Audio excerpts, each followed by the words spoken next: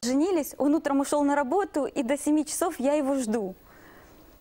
Да, такое случается. Но проходит время, девушка сама устраивается на работу. Если у нее есть ребенок, она занимается им.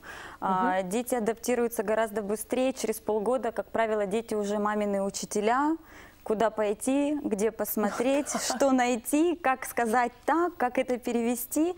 Поэтому женщинам, которые уезжают с детьми, гораздо легче.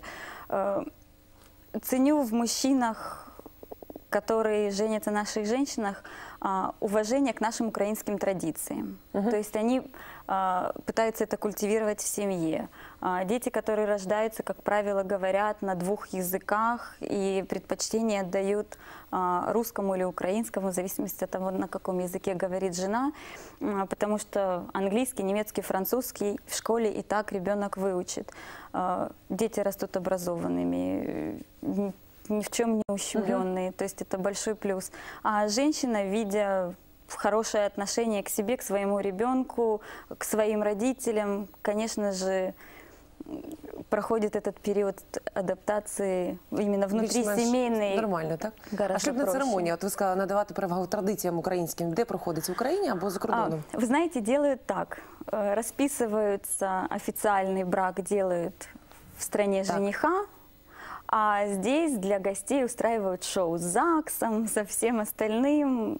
То есть э, Але це практически не гуляет, гуляет дважды.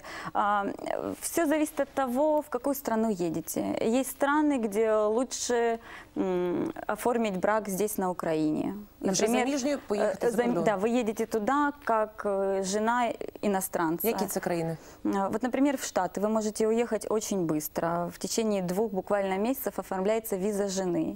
А, Вы можете быстро устроиться. То есть в- вы, уехав туда, ничем не будете отличаться от англичанки, канадки, любой другой э, подданной любой другой страны, вы едете туда женой гражданина США. Приехав туда по визе невесты, на вас накладываются определенные ограничения, которые, может быть, не всем девушкам будут комфортны. Опять же, нужно консультироваться с юристом по стране, куда планируете выезжать, и уже решать наиболее выгодный именно для вас вариант. А що от таке, от ці ограничення? Нельзя выезжать какой-то период времени, нельзя работать. Так. А, обязательно, э, не могу сказать, все зависит от страны. А, обязательное посещение курсов.